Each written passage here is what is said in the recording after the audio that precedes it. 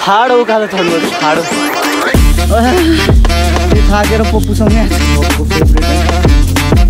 आज चाहिँ अलिक गर्मी भइसक्यो न त अरू बेला जाडै थियो हाम्रो गाउँमा होइन?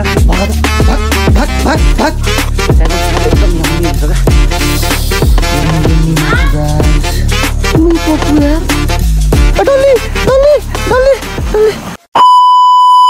फुल भिडियो हेर्नको लागि चाहिँ तपाईँहरू पहिला युट्युबमा क्लिक गर्नुहोस् र सर्च बटनमा क्लिक गर्नुहोस् र तपाईँहरू एमआर सोल्टा भनेर त्यहाँनिर टाइप गर्नुहोस्। एमआर सोल्टा टाइप गरेपछि तपाईँहरूले यस्तो फिगर देख्नुहुन्छ रुन्चे अनुहार त्यसपछि सब्सक्राइब बटन क्लिक गर्नुहोस् र अनि सब्सक्राइब गरिसकेपछि मजाले भिडियो हेर्नुहोस्।